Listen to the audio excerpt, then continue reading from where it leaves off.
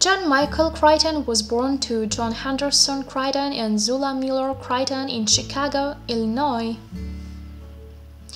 A prodigious child, he showed an inclination towards writing since an early age. By the age of 14, he even had a travel article published in a column at the New York Times. It was while at the Harvard Medical School that he began penning novels under the pseudonym John Lang, Jeffrey Hudson, and Michael Douglas. Year 1969 witnessed the release of his three books, Zero Cool, The Andromeda Strain, and The Venom Business.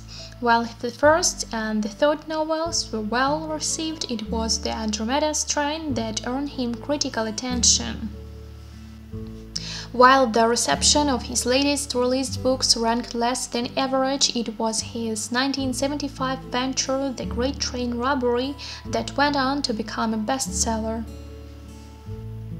The following year, he came up with the novel Eaters of the Dead. The book was later made into a film by the name The Thirteenth Warrior. It was his second directorial venture. In 1996, he released the book Airframe, a fictional work based on authentic technical information which gave the novel a feel of realism. Three years later, he released a science fictional novel, Timeline. He is said to have married five times in his lifetime, four of which ended in divorce.